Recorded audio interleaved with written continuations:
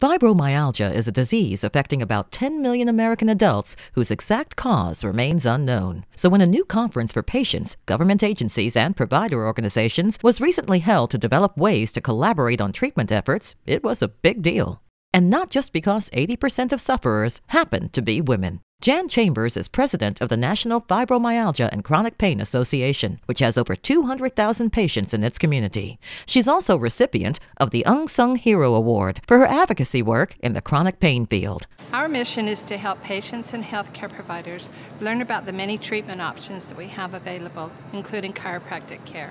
Doctor of Chiropractic, Carol Ann Malizia, understands the needs of patients with chronic pain illnesses. I tell my patients to take on the disease rather than to be defined by it. Thanks to chiropractic care and integrative solutions, many of them no longer need prescription medications and they live a pain free, vibrant life. To learn more or find a doctor of chiropractic near you, visit f4cp.org slash find a doctor.